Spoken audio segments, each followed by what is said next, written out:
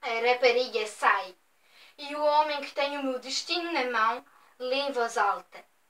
Eu, Rose Frankfurter, declaro que eu escrevi a carta a Kurt Feldberg, mas retiro as ofensas que fiz ao Führer do Terceiro Reich. O Führer não viu o resto. Só ouvi o meu sangue bater. E vi os lábios moverem-se para cima para baixo, para cima para baixo. Quer assinar? Peguei na pena. A minha mão estava morta, mas escreveu Rose Frankfurter. Pronto! Isto será apresentado a uma instância superior. Dentro de cinco dias saberemos para onde teremos de levar Julia Frankfurter.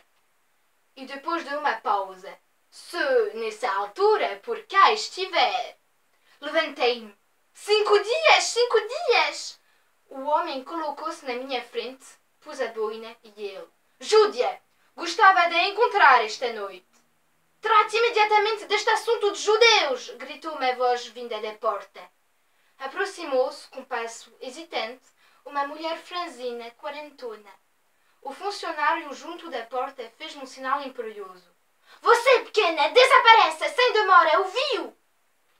Depois para o homem na minha frente. Não são coisas para as horas do serviço, que isso não se repita.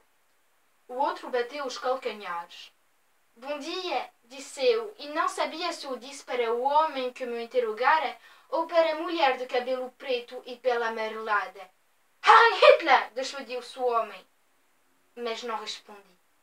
Passei pela mulher. Gostaria de lhe dizer: ele está bem disposto, tenha coragem. Mas eu sabia, esta não recuperará a liberdade e senti repugnância por mim própria, vergonha de ser nova e de ter um aspecto ariano. Do meu prazo de cinco dias.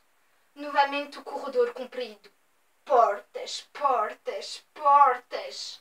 Homens e mulheres. Gente, gente. Uns cabeça enterrada nas mãos, outros com os olhos cravados no vazio, outros a chorar em surdina. Alexanderplatz, o mar da multidão que me absorve a mim, a gota insignificante que vivia, respirava, via o céu, o sol.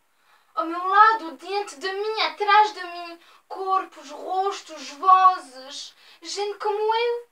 Mas ninguém sabe que a minha vida esteve em jogo poucos minutos antes que eu, Júlia Frankfurter, tenho cinco dias para deixar o país.